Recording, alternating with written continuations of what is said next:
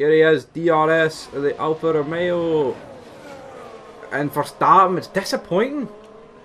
But for mean, he's only a wee bit behind, but you'd, you'd still expect better. Perez is warming up his tyre, so we'll just give it a wee simulation up to our next lap.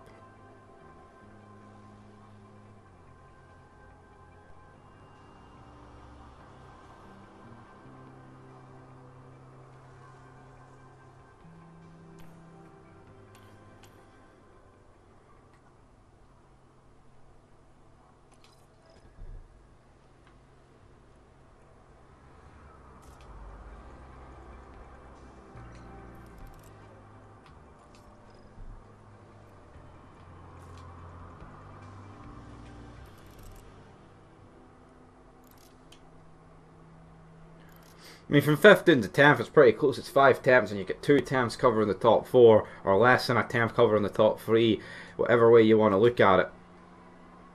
But we're sending our cars out now, and this is where things are going to get tasty. Who is going to get pole position here at the Australian Grand Prix? Can Ferrari remain on top? Hopefully, that would be the dream. But as you can see, we're flying now. For starting, we'll be last to cross that line. Alonso is the first. Oh no, he's not the first actually, the bunch, but who is the first?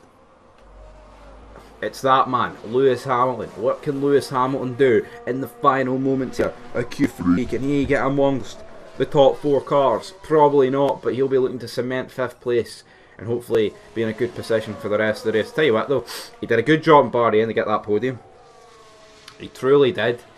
Because I thought he had no chance, but you know what? He turned that around now, Lewis, like he normally does. But Hamilton towards the line. What's it going to be now for Lewis Hamilton?